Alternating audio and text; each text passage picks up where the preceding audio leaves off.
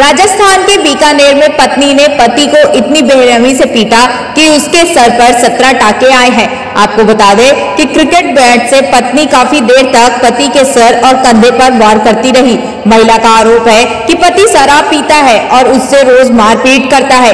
इसी गुस्से में उसने पति की पिटाई की है। इस मामले में दोनों ने एक दूसरे के खिलाफ एफआईआर दर्ज भी कराई है।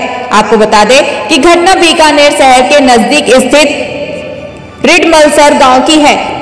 यहाँ रात 11 बजे पति पत्नी अमीन और अनीशा के ज़ोर ज़ोर से चिल्लाने की आवाज़ सुनकर पड़ोसी उनके घर पहुँचे।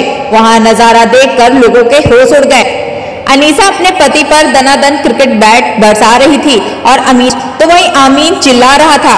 आपको बता दें कि वही पुलिस का कहना है, आपको बता दे कि पुलिस का कहना है कि आमीन के घर वालों ने रिपोर्ट बयान में बताया है। बताया कि अनीशा काफ़ी देर तक पति के कंधे और सर और पैर पर बैठ से वार, इससे आमीन का सर फट गया और पूरी फर्श पर खून फैल गया।